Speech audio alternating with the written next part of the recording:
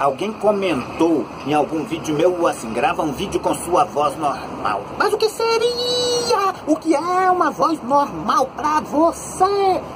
Essa voz que eu estou fazendo agora?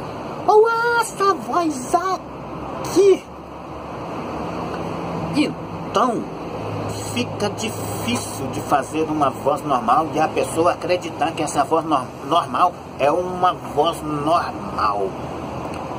É, mas se a pessoa não acredita que a voz normal é uma voz normal, aí eu já não entendo mais nada. Porque ter que ficar explicando o que, que é voz normal é uma coisa meio assim, né? É, não sei dizer, né? E se eu tentar fazer uma voz normal e ela não ficar normal, ficar igual essa que eu tô fazendo agora, como é que fica essas coisas? Eu tô com uma crise de soluço, tá difícil, mas eu tô gravando esse vídeo assim mesmo. Então a minha voz normal é essa que estou fazendo agora.